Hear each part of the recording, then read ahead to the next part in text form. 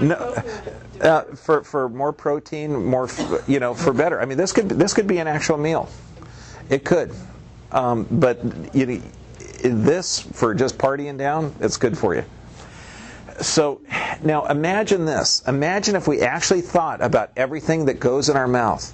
Everything you put in your body is going to make you healthier or sicker. Because all of this french fries, hamburgers, everything else, it gets in the intestine, gets in the bloodstream, gets in there. We've had people who've, who've taken blood supplies or blood samples from drug addicts, and you can actually see the blood sample separate into fat and clear. It's just amazing at how the lipids inside of here, inside of the bloodstream works. Water is essential. So we're talking at least a liter and a half to two liters a day. 50% of your body weight in just fluids. This right here, I only put about a handfuls of ice cubes in there. So what, what you really need to do is do at least a liter, liter and a half of water a day. Direct sunlight. This directly affects the bloodstream because this elevates vitamin D levels, it detoxes your system. Phenomenal.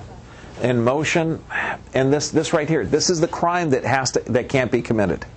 Do me a favor, wherever you're sitting, sit up straight and slide your body off to the side and take a deep breath. Then go back to the middle and take a normal breath. So now you could imagine that if your body is bent off to the side, the heart has to work harder to get oxygen to the brain. How many people a day in this body posture are taking a diuretic or a blood pressure drug or something? If you give this person a blood pressure drug, does that help oxygen to his head or, or harm it? It's going to reduce it. And then we've got an excess of, uh, I mean, Alzheimer's is epidemic. And that's just oxygen in the brain. This person here, it's the same guy normal blood pressure, no medications, normal function. It's just respecting the body. It's an intelligent design. God built it. Okay, so now here, this is exactly what you need for healthy blood. Is the second round a little bit better than the first? Yeah, a little sweeter. Okay, good. Good. Okay, good.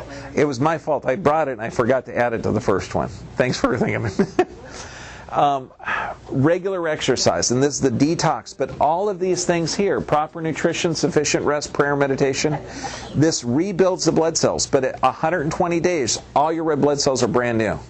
So if you start today to, to eat healthy, within 120 days, you're going to have brand new blood.